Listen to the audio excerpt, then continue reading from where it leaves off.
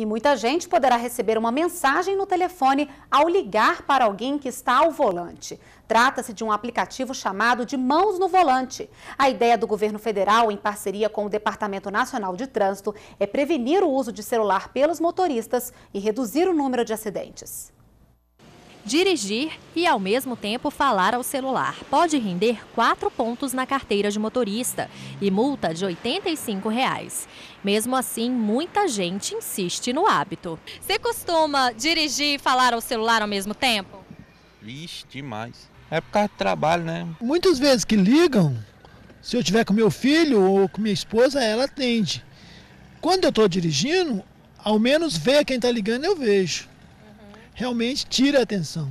Falar ao celular enquanto dirige é hoje a quarta maior causa de multas por infração no trânsito. Segundo especialistas, o hábito aumenta em 400% o risco de acidentes e causa a perda da atenção do motorista. O problema do celular é que, primeiro, ele sequestra uma parte da atenção do, do, do condutor.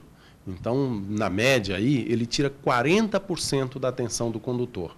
O segundo problema do celular é que uh, ele, uh, a pessoa está segurando o celular com a mão e para uma manobra rápida ele só tem uma mão.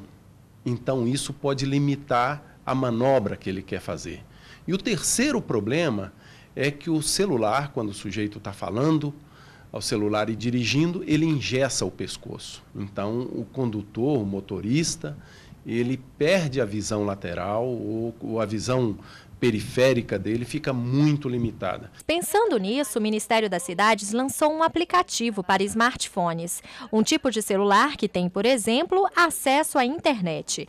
A ideia é que o motorista não atenda a ligação quando estiver dirigindo. Quem estiver do outro lado da linha recebe a mensagem. Isso é, é diferencial é que ele faz isso automaticamente ele silencia a campainha do celular, mas ao mesmo tempo ele informa a pessoa que te procurou que você liga em seguida, né? sem ter que acionar nada, sem ter que tirar as mãos do volante. Mãos no Volante é o nome do aplicativo.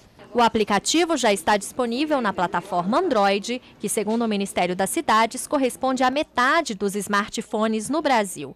Em breve deve ser disponibilizado também para BlackBerry e Nokia.